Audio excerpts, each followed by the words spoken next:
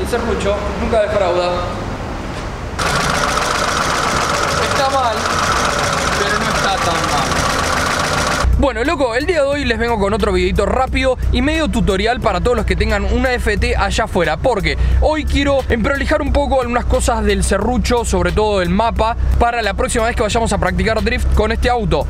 Porque estuve notando las últimas veces que en drift, o sea, pedal a fondo, muy arriba en las RPM, el auto está pasado de nafta. Y yo, con esta compu, lo que puedo hacer es dataloguear todo menos la wideband, porque básicamente no la tengo conectada a la computadora FT porque técnicamente necesitas la wideband de FT para que funcione, pero me han comentado que puede llegar a funcionar con cualquiera conectándolo de la forma correcta. Así que hoy vamos a intentar eso y tal vez les sirva a alguno allá afuera que está en la misma situación que yo. Entonces, para todos los que no sepan, yo tengo una FT 300 en este auto y tengo una wideband Pro Sport, así que vamos a ver dónde está el módulo controlador de esto que si yo lo tiré por acá atrás.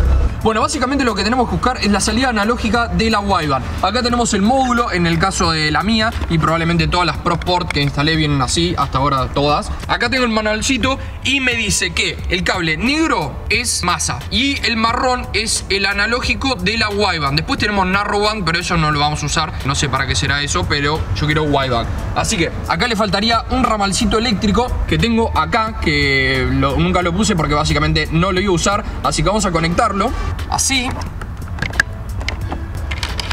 Vamos a poner el negro a masa y vamos a agarrar el cable marrón y lo vamos a conectar a la FT. Ahora les digo en qué cable.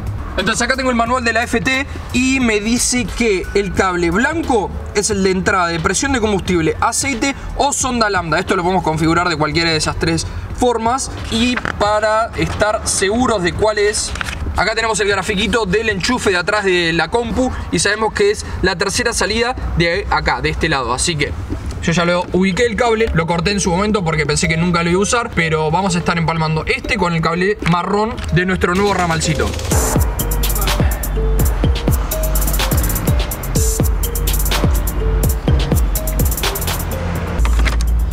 Bueno, ya hice la conexión. Ahora lo que tenemos que hacer es poner en contacto y vamos a ir Configuración de entradas y salidas. Auxiliar 1, auxiliar 2, auxiliar 3, 4, entrada 1, azul blanca, entrada 2, blanca, acá. Presión de combustible no. Presión de aceite no. A ver, me parece que necesitan la computadora para configurar eh, lo de la wideband, pero de todas formas, si van a estar haciendo esto, es porque quieren hacer datalogger. Y si quieren hacer datalogger, no te rías, Nico, no lo pongas en el video. Y si quieren hacer datalogger, eh, Van a necesitar la computadora y el cable que yo lo tengo, así que vamos a enchufarlo y ver cómo lo hacemos. En realidad ya sé cómo se hace. Entonces, para conectarla, tenemos que sacar de vuelta la compu, agarrar nuestro cable adaptador USB CAN, enchufarlo acá atrás de la compu.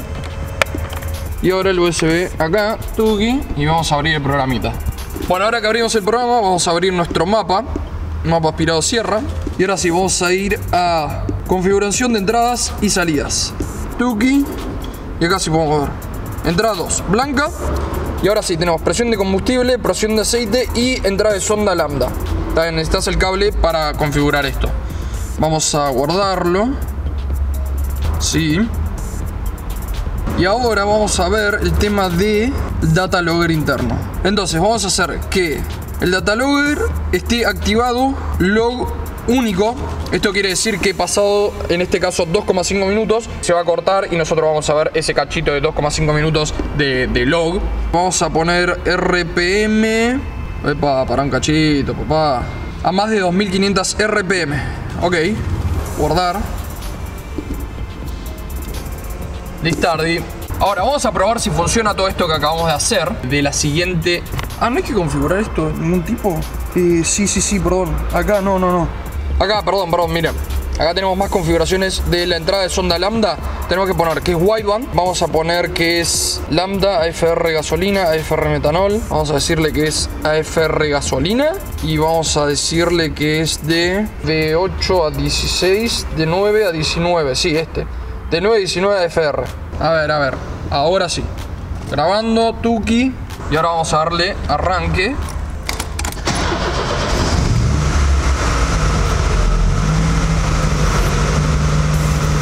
Básicamente para que arranque el log lo que tenemos que hacer es llevarlo a más de 2500 RPM. Acá pueden ver. Inicio del log. Entonces está ahí en 15, 16 a 1000 RPM, ¿no? Así que ahora lo vamos a parar y vamos a leer el data logger. Vamos a parar. Vamos a venir acá y vamos a descargarnos el data logger. Vamos a guardarlo. Por favor, estaría buenísimo que lo lea. Esto de poder dataloguear el tema de la sonda está buenísimo para cuando estás o mapeando solo en la calle que no podés manejar y encima ver todos los parámetros y encima programar. Entonces vos, no sé, acelerás, haces una tiradita en segunda fondo y después te fijas los parámetros y corregís en base a eso. También, después ya cuando lo tenés mapeado, como por ejemplo en este auto que ya está mapeado, el auto anda bien, ya lo probamos en el banco y todo, está bueno para refinarlo, porque tal vez tenés algún piquito ahí de, que te inyecta demasiado combustible y decís, ¿por qué están dando ese tantito mal? Y acá lo podés ver. Así que, vamos a ver. Entonces, tenemos, sí, mirá, guacho, lee la sonda. Tenemos sonda que es la violeta. Acá me lo lee en lambda, ¿no? Pero, está bien, porque un lambda, ¿qué es eso? Es 14.7 AFR.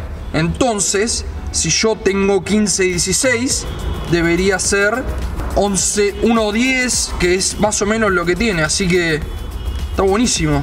Mira, ahí la puedo seleccionar, mira. ¡Uh! Está buenísimo, guacho, qué bien. Tremendo, guacho. Ahora podemos salir a dar una vuelta, fondearlo en segunda, que es cuando más lo uso en drift, y ver si es un tema del mapeo. O también estoy pensando que puede ser algo con la bomba de pique. La bomba de pique es cuando vos apretás el acelerador, tira una inyección extra de combustible para que el motor reaccione y no se quede fino, digamos. Eh, entonces, en drift, vos no mantenés el acelerador constante mucho tiempo. Es como que lo vas ahí pedaleando para mantener las RPM altas y que patine y todo eso. Así que si tengo una bomba de pique con mucho pulso inyección, me va a estar pasando de nafta toda la mezcla y voy a andar gordo el auto siempre. Pero bueno, ya que estamos configurando cosas de la compu programable, hay una entrada que quiero configurar hace mucho tiempo y después de probarlo en el Subaru ya sé exactamente cómo hacerlo, así que Vamos a ponerle el corte y control de largada al serrucho a ver qué hace. Entonces, como ya vieron en el video del Subaru, si no lo vieron, vayan a verlo porque está buenísimo. Tenemos que ir a configuraciones acá. Tenemos que ir al cable azul que ya lo tenemos como botón de two-step. Mira, ya lo tenemos. Entonces vamos a ir a ajuste auxiliares. Acá en opciones de arranque tenemos limitador de arranque two-step. Está activado, pueden ver. Eh, lo tengo puesto 1500 RPM. Vamos a subirlo a 3500. Vamos a hacer que tenga un enriquecimiento del 30%. Vamos a hacer que el avance sea de 20 grados. Y ahora les voy a explicar bien por qué cuando le arranque. Y iniciar corrección. Compensación combustible después de tu step. No. Eh, Stardy. Guardar. Ok, joya. Y para accionar el two-step, o sea, el control de largada, tenemos acá un cable azul que hay que darle masa, básicamente. O sea, yo le tendría que poner un botoncito, pero como no tengo ahora, le voy a hacer masa con algo y va a accionar el two-step. Así que vamos a darle arranque y les explico por qué lo puse en 20 grados. Entonces yo este auto, cuando lo armé, configuré mal el avance de la computadora con el avance mecánico del motor. O sea, el avance que manda la computadora es la mitad de lo que ve el motor. O sea, si esto le manda 40 grados, el motor ve 20 grados o algo así. Le pifié grosso. Así que nada, eso lo fuimos viendo en el banco. Si vieron el video ese también se los recomiendo. Les dejo por acá arriba si me acuerdo, probablemente no. Pero bueno, entonces el auto regulando está en 35, 36 grados de avance. Así que si lo pongo en 20, lo voy a estar atrasando 15 grados para que explote bien piola. Vamos a probar. Pero primero quiero que caliente un cachito el, el motor. A ver en cuánto está de temperatura. 66 grados.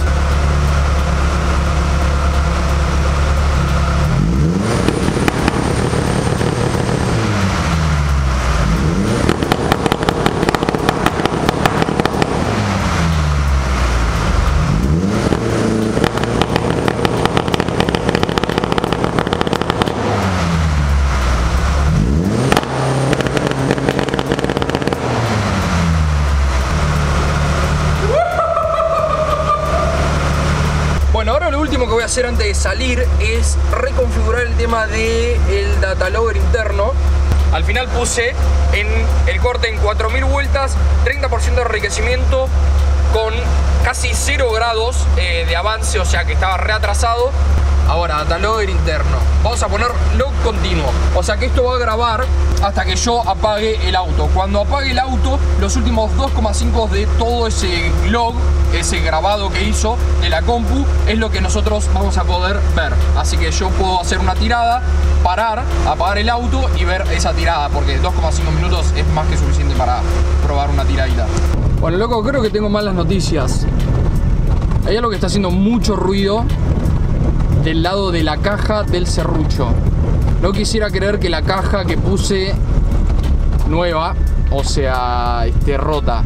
Sería un muy mal viaje de mi parte. O sea, anda bien. No se siente que crujen los cambios ni nada, pero no sé si lo van a poder escuchar.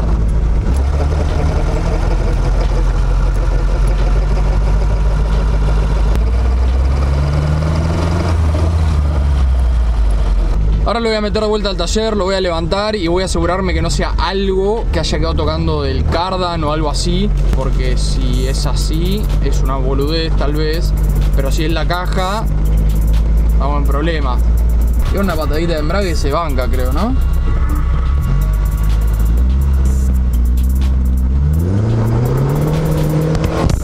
Bueno, lo que ya tenemos levantado el serrucho, así que vamos a darle arranque y lo vamos a poner en cambio. Vamos a hacer que levante un poco de vueltas y nos vamos a tirar abajo del auto a ver si vemos o escuchamos de dónde viene ese ruido tan feo.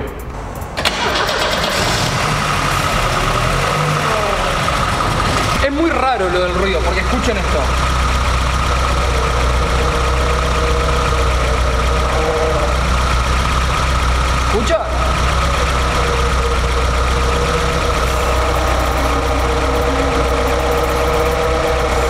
Ok, el ruido está bastante feo y definitivamente viene de la caja, miren. No sé qué onda con esto, pero... Mira lo que me pasa, ¿eh?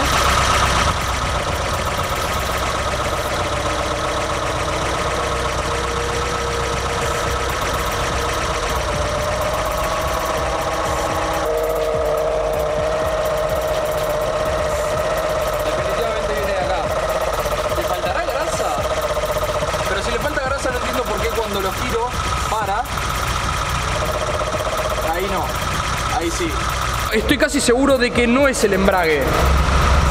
Porque si fuera el embrague tendría que hacerlo constantemente. Debe ser algo del mecanismo interno de la caja que está tocando o está desgastado. Vamos a checar el nivel de aceite de la caja, más que nada, para estar seguro de que no es eso. Y si no, nada, no lo voy a arreglar. Nuevamente, vamos a darle hasta que se rompa o más adelante la cambie por otra caja que le ande la reversa y no haga este ruido de mierda.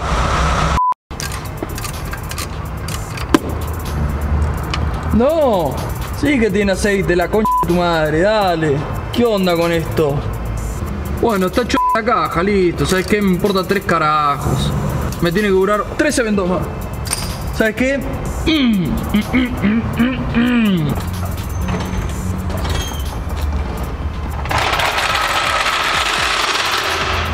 Bueno, loco, no sé qué decirles. Básicamente no hay nada para hacer. Si es la caja. Pero bueno, por lo menos el auto driftea bastante bien. Como vieron esa esquinita que hice ahí, mi circuito privado. Se pone recostado el auto, así que Así que bueno, loco, eso va a ser todo por hoy. Como pueden ver, ya es otro día. Empecé a hacerle otras cositas al serrucho, pero me olvidé de grabarlo porque estaba re manija y re caliente de que no me estaba andando del todo bien, como vieron. Así que empecé a hacerle otras cosas que espero en el próximo video que tenga el serrucho esté andando joya. Así que bueno, loco, eso va a ser todo por hoy. Muchas gracias por el video y nos vemos la próxima.